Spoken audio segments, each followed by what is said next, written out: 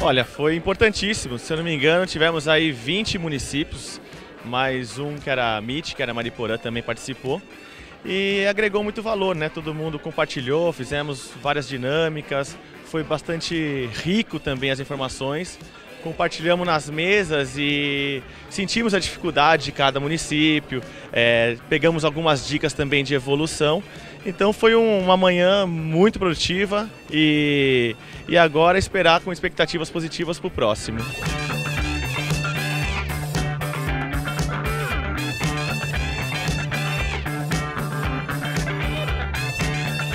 Muito gostoso, é, um, é super gratificante estar falando de turismo, né? Ainda mais com o pessoal da administração pública, quem está à frente do turismo e, e, e ter esse retorno muito positivo dos participantes, um engajamento bacana.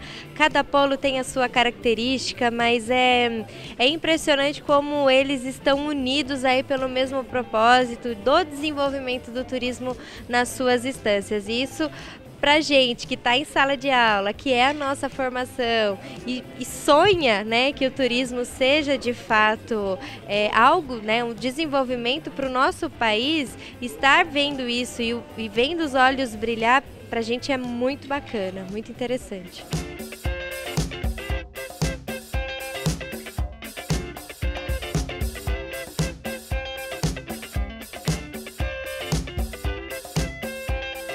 Sucesso absoluto, né? Presença quase que maciça nesses três encontros que nós fizemos.